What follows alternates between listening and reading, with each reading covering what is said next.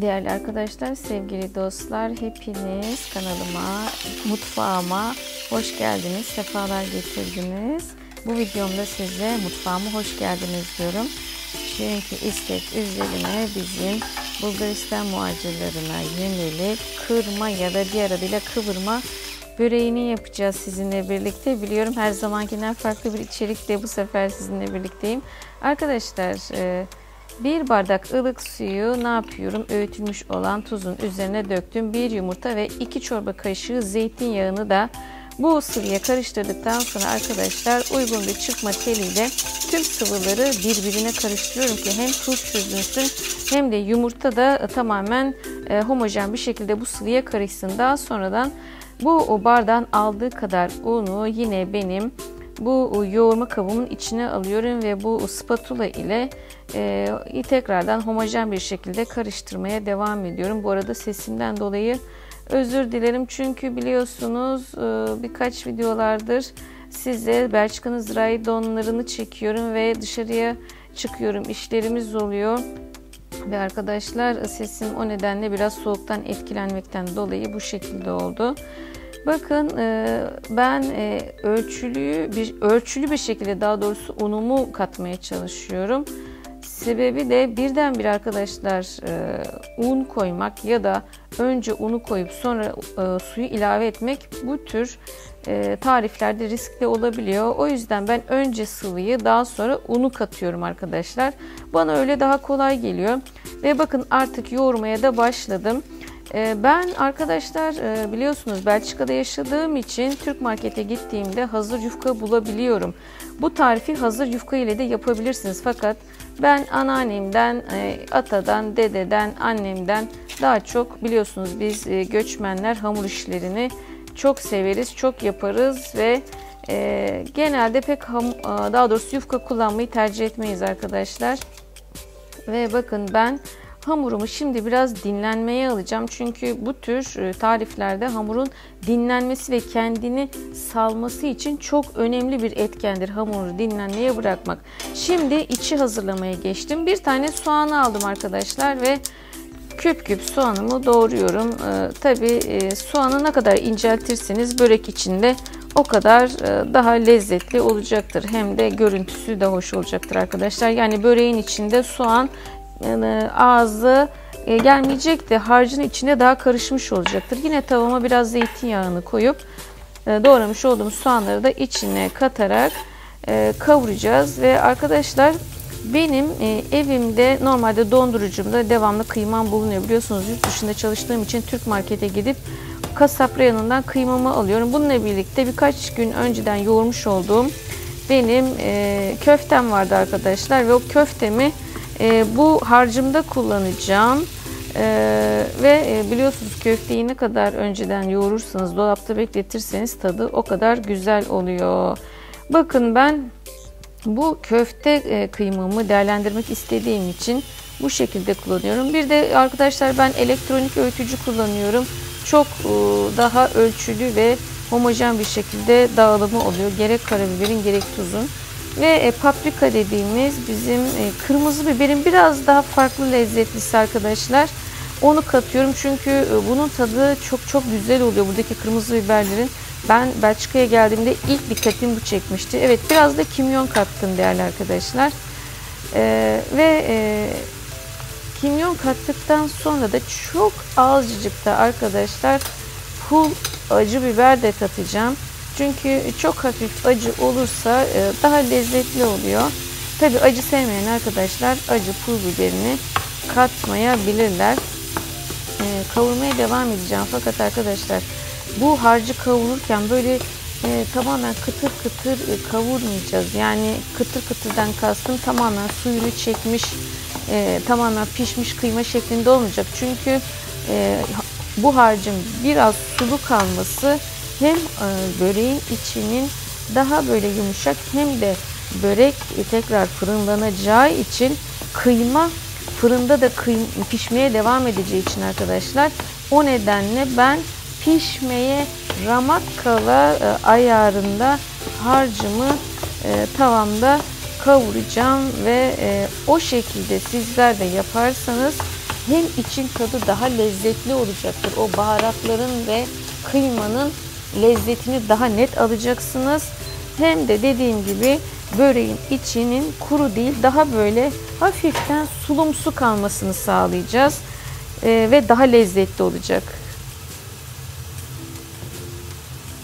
Ve masamıza geldik ve e, yaklaşık e, yarım saat kadar dinlenmiş olan bu börek e, hamurumuzu arkadaşlar şimdi e, tekrardan parçalara bölerek ne yapacağız?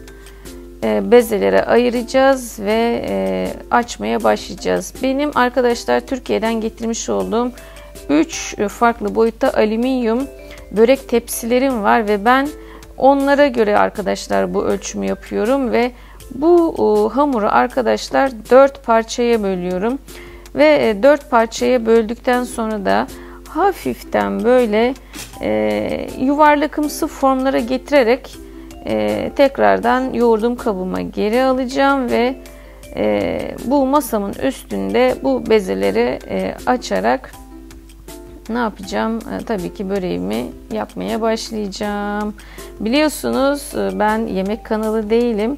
E, bu anlatımı yaparken de değerli yemek kanallarının da affına sığınaraktan e, bu videomu çekiyorum. Dediğim gibi çok değerli, sevgili bir değerli dostum tarafından bu video istendiği için bu, bunu çekiyorum. Bakın yufkalarımı açmaya başladım bile.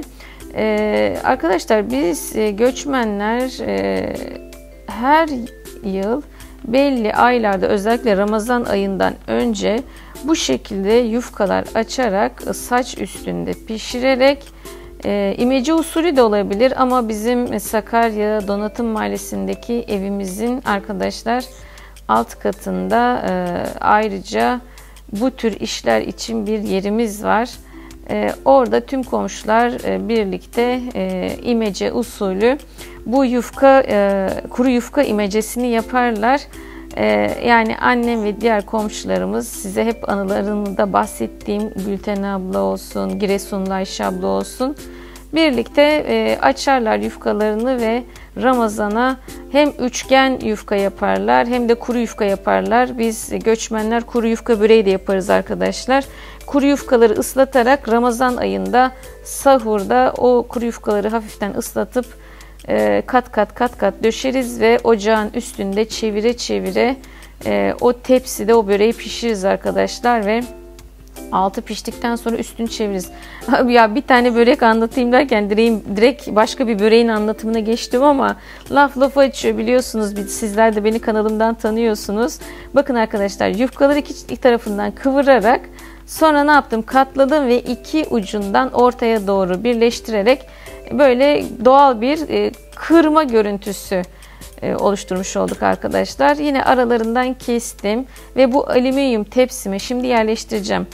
Ee, rahmetli anneannem ve rahmetli e, Hanife anne, Hanife anne kim onu da söyleyeyim arkadaşlar size. Hanife anne benim e, büyük teyzemin kayınvalidesi olur ve benim çocukluğumun e, geçtiği e, köy ya da işte anılarımın uzun olduğu köy size de çekimini yapmış olduğum köyde Hanife anne e, biz arkadaşlar şehirden köye geldiğimiz zaman bize böyle kendi elleriyle kırma böreği yapardı. Ee, yani benim teyzemin uzun yıllar çocuğu olmamıştı ve e, biz köye gittiğimiz zaman e, teyzem ve Hanife anne bizi e, annemden alırlar. E, annem anneannemde kalırdı. Teyzem ve teyzemin kayınvalidesi Hanife anne bize hemen bu kırma böreğini yaparlar. Hanife anne bize süt ısıtır. Teyzem bizim saçlarımızı tarar tokalar alır bize, bahçede meyve ağaçlarının altında meyve yedirir. Böyle güzel güzel bir çocukluğum geçti. Buradan gani gani rahmet diliyorum Hanif anneye ve e, anneanneme. E, biz arkadaşlar, sevgili dostlar e, yine belki e, duygusal bir konuşma olacak bu videomda ama dediğim gibi ben yemek kanalı değilim. E, istek üzerine bu videoyu çekiyorum. Ee, Hanife anne benim teyzemin kayınvalidesi, kayınvalidesiydi daha doğrusu ama biz onu aileden birisi olarak gördük ve biz ona hep Hanife anne derdik. Hiçbir zaman e, Hanife teyze olmadı ve hep Hanife anne olarak e, bizim ailemizde yaşadı ve anılarımızda da böyle Hanife anneyi andıkça arkadaşlar gözlerimiz dolar. Çok iyi niyetli bir insandı. Yani anneannem ve Hanife anne senelerce dünürlük yaptılar. Hiç birbirlerini kırmadılar. O yüzden eskiler arkadaşlar, eski insanlar, eski insanların şu merhameti, iyiliği, komşuluğu, dostluğu, sevecenliği umarım bizlere de DNA'mıza geçmiştir ki onların e, sayesinde bizler bu güzel börekleri, bu güzel kültürlerimizi devam ettiriyoruz. Onlar bize gösterdiler. Biz de inşallah bizden sonraki nesillere kendi e, yöresel tatlarımızı, geleneklerimizi, adetlerimizi ve Türk kültürünü arkadaşlar umarım ki layıkıyla aktarabiliyoruzdur. E, dediğim gibi Hanife anneyi de bu videomda bu şekilde anmış olayım. Bu videomu da yine anneanne ve Hanife anneme atfediyorum arkadaşlar. Ee, ve e, kanalıma ilk kez denk gelmiş ve bu börek e, tarifini ararken şu, bu anda yani şu anda benim e, videomu izleyen değerli arkadaşlar e, yinelemek istiyorum. Ben e, kaktüs, sukulent ve çiçek hobilere dair bir kanalım. İstek üzerine bu videomu çektiğim için böyle bir konuşma yaptım. Çünkü alışılmış yemek e, tarifi veren arkadaşlardan biraz daha farklı video çekiyorum şu anda. Bu da benim acemiliğim olsun. Ve e, dediğim gibi yeni denk gelmiş arkadaşlar. Ben de böyle e, bir e, naçizane börek tarifimi sevgili dostlarımla paylaşırken sizler de bana denk gelmiş olabilirsiniz.